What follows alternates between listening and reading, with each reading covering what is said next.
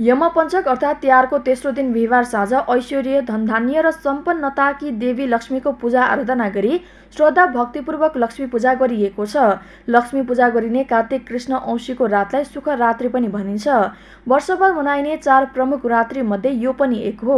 लक्ष्मी पूजाका लागि यस साँझ आँगनदेखि मूल ढोका हुँदै लक्ष्मी स्थापना गरी पूजा गर्ने कोठासम्म गाईको गोबर र रातो माटोले लिपपोत गरेर चामलको पिठो र अबिरले लक्ष्मीको पाइला बनाई लक्ष्मी आउने बाटो देखाइन्छ।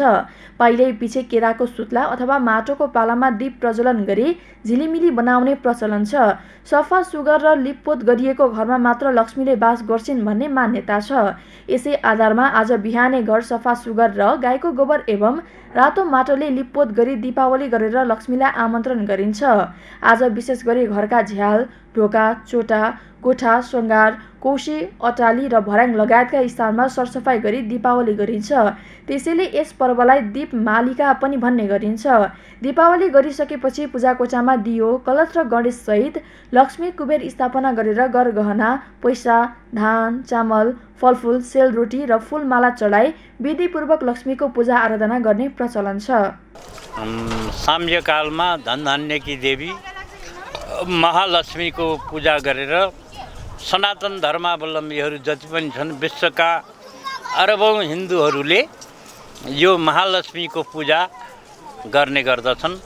धनधान्यकी देवी महालक्ष्मीको पूजा गर्नाले वर्षभरि नै धन धान्य सुख शान्ति सबै कुराहरू प्राप्त हुने भएको हुनाले आठ प्रकारका चाहिँ लक्ष्मीका पूजन गर्नु भनेर चाहिँ शास्त्रमा वर्णन गरिएको छ। लक्ष्मी पूजा तिहारको सबैभन्दा महत्त्वपूर्ण दिन हो।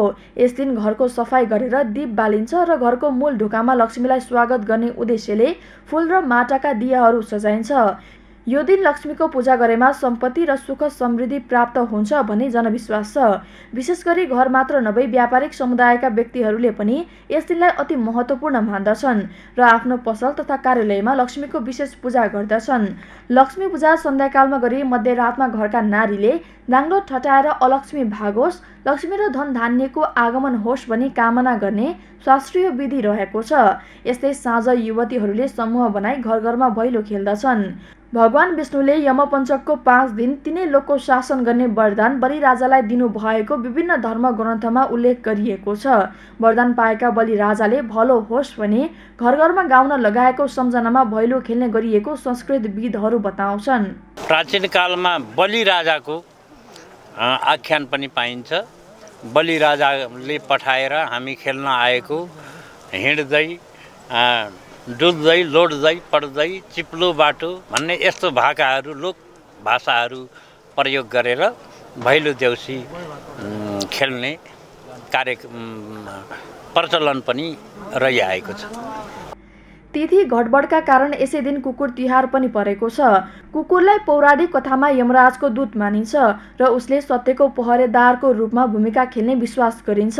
यसै दिन बिहान मानिसहरूले कुकुरलाई माला र टिका लगाएर सम्मान गर्दै उसलाई मनपर्ने परिकार खुवाएर कुकुर तिहार मनाएका छन्। यसरी कुकुरलाई सम्मान गर्दा उसको रक्षामा भगवान यमराज पनि खुसी हुने विश्वास गरिन्छ। सगरमाथा टेलिभिजनका लागि क्यामेरामा अभिषेक थापाका साथमा यमुना सापकोटा काठमाडौँ।